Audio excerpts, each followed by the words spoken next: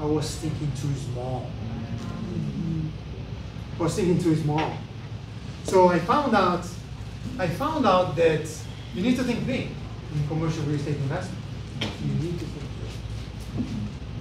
Big returns, getting money, everything's on the big number. So I started to look for big investments. I said, what can, can I buy an entire office? Can I buy not a condo? Can I buy an entire building?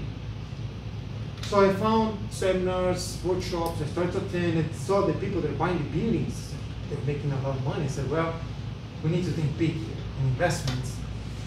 Big investments have bigger returns, usually, in commercial real estate. And there are some reasons.